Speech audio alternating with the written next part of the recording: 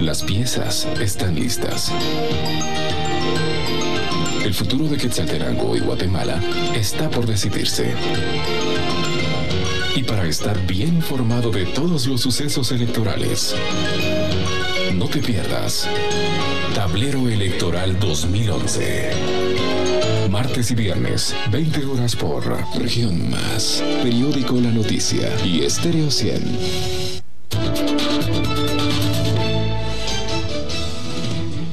Usted continúa conociendo la verdad de los hechos a través de esta emisión. No olvide visitar nuestro perfil de Facebook, además de seguirnos en Twitter. Continuamos con más. El pasado miércoles en horas de la noche se dio por concluida la exposición X en Casa No, culminándola con un taller sobre la propiedad intelectual. Casanoj fue el escenario de esta clausura, la cual culminó con un taller de pintores, artistas y personas particulares acerca del derecho de autor y de la propiedad intelectual, que dicho sea de paso es desconocida para un buen número de personas en la región. El tema es sumamente interesante, no solamente para los artistas de la obra plástica, a la cual fue enfocada sino todo aquel artista y todo aquel que produzca elementos eh, materiales producto del intelecto.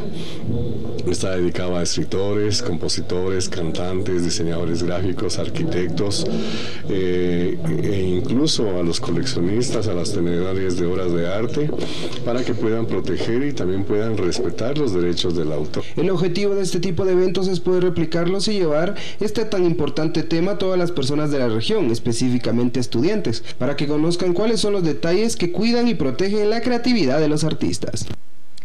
Y continuamos conociendo dos propuestas acerca de los problemas que atraviesa la ciudad como lo son la viabilidad y las inundaciones, mismas propuestas que son presentadas por dos candidatos a la alcaldía de esta ciudad. Las opiniones continúan en torno a estos dos importantes temas o problemas evidentes en la ciudad. En esta oportunidad conocimos más acerca de esas soluciones que pretenden los candidatos a la alcaldía en Quetzaltenango. En cuanto a la situación de las inundaciones, conocimos el planteamiento del candidato por el Partido Patriota. Tenemos eh, una propuesta eh, bien diseñada en cuanto a que cada que, todo el todo lo que es el caudal que viene desde la desde la zona 9 el San Juan Calderón desemboca en, el río Seco y la zona 2, tiene que tratarse cada, cada uno de los sectores de diferente manera.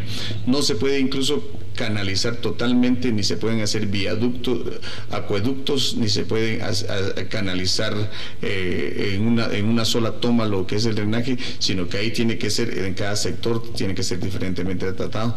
Pero lo que sí es oportuno es que se tienen que crear inmediatamente planes de contingencia para lo que es el área que está siendo degradada en la zona 9 y a la par de eso darle mantenimiento a los zanjones naturales que han sido las venas y las, las, arterias principales para el desfogue de todos estos problemas de las inundaciones. A quien cuestionamos también fue el candidato por el partido líder, quien apuntó lo siguiente. Hay un, un estudio que hemos hecho a conciencia, eh, hay un plan de trabajo que en un par de semanas eh, ya lo va a ver eh, toda la población en televisión, eh, prensa, también donde vamos a publicarlo para que toda la gente sepa los problemas y el plan de trabajo que nosotros tenemos para poder contribuir y quitar en un 60, un 70% estos problemas.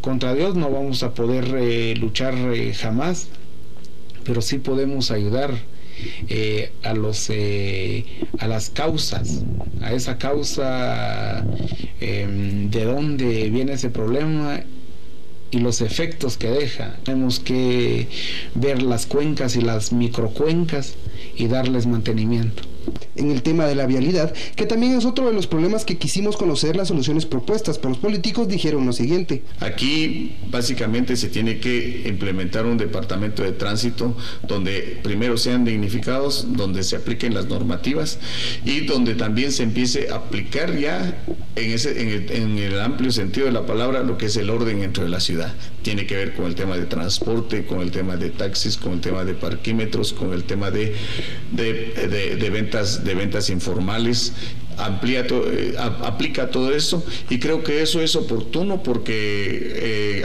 teniendo nosotros un departamento de tránsito que también va unido a, un cobro a través de la SAT, en el tema de las multas, eso haría que la población también respetara que aquí en la ciudad hay una policía de tránsito que es efectiva. Un proyecto que se llama Venas Negras para el Desarrollo de Quetzaltenango. ¿En qué consiste? En comprar eh, una planta para la cocción de asfalto o para hacer asfalto en otras palabras, ya que tenemos la materia prima, tenemos eh, piedrín, tenemos arena de primera. Eh, hay muchas cosas que podemos hacer. Imagínese usted que Quetzaltenango tiene más de 400 años de historia como ciudad. Imagínese que no tiene un solo camión en perfecto estado. En sí, algunas respuestas son claramente concretas para solucionar este tipo de situaciones que atraviesa la ciudad. Sin embargo, la parte de análisis queda en cada uno de los ciudadanos de Shela. Y queremos conocer su opinión acerca de las distintas propuestas que nos brindan los candidatos a alcalde de esta ciudad, así que usted puede hacernos llegar su comentario a través de nuestro muro de Facebook. Y con esta información es como llegamos al cierre de la presente emisión. Gracias por permitir que la señal de Región Más llegue hasta sus hogares y llevarle a usted la verdad de los hechos. No olvide sintonizarnos a las 21 horas y al cierre de esta emisión los dejo con el sumario. Informamos que el Departamento de Ambiente estudia el tema de podas ante época de lluvia y finaliza la primera promoción en Quetzaltenango de profesionales de laboratorio clínico y capturan a presuntos robacarros en la zona 3. Y le presentamos todo lo más importante en el ámbito de los deportes.